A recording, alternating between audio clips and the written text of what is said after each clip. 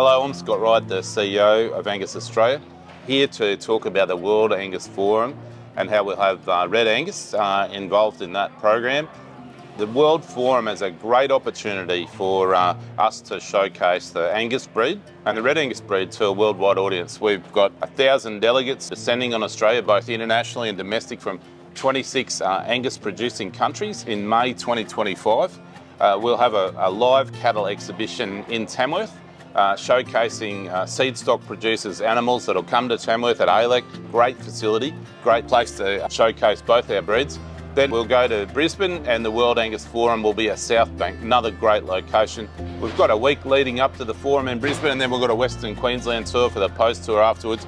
But it's really great to work with our other Angus associations around the world. Angus is raised in 26 member countries that are in the World Secretariat around the world. It's a pleasure to include the Red Angus breed in Australia and to be partnering with them. Would like to say we welcome all the Red Angus members in Australia to be part of every activity for the World Forum. We want it to be a very inclusive time of coming together to celebrate the Angus breed that has two colours. So thanks for coming on Eliza and the Red Angus members to be a part of it.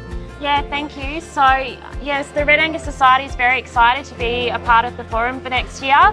We've got a youth team that will be competing and we're hopefully going to be involved in every stage, which is really exciting. It's really good for not only Red Angus, but Angus internationally and nationally. So, thank you for having us along as well. Thanks, Eliza. And, and we just want to make uh, a big welcome to uh, all Red Angus members and youth members to be a part of it, particularly the youth competition will be exciting and looking forward to May 2025 in both Tamworth and Brisbane.